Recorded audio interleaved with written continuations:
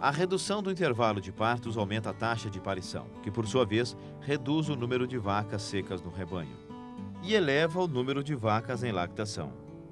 Desta forma, você garante uma maior produção de leite e um maior número de bezerros nascidos no rebanho.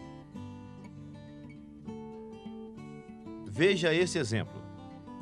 No período fixo de 36 meses, a vaca com intervalo de partos de 18 meses e potencial para 1.000 quilos de leite por lactação produzirá dois bezerros e 2.000 quilos de leite em duas lactações.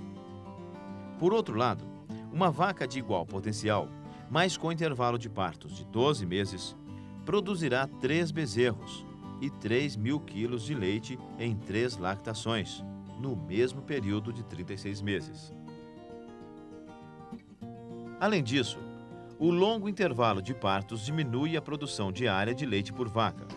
Por exemplo, uma vaca que produz 2 mil quilos de leite por lactação produz 5,5 kg de leite por dia de intervalos de parto de 12 meses, ou 3,7 kg de leite por dia de intervalos de 18 meses.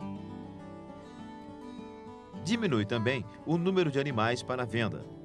Considerando um rebanho estabilizado com 50 vacas, 6% de mortalidade de bezerros, e intervalos de partos de 12, 18 e 24 meses, o produtor poderá dispor, respectivamente, de 47, 36 e 24 animais por ano para a venda. Financeiramente, isto significa aumento de receita.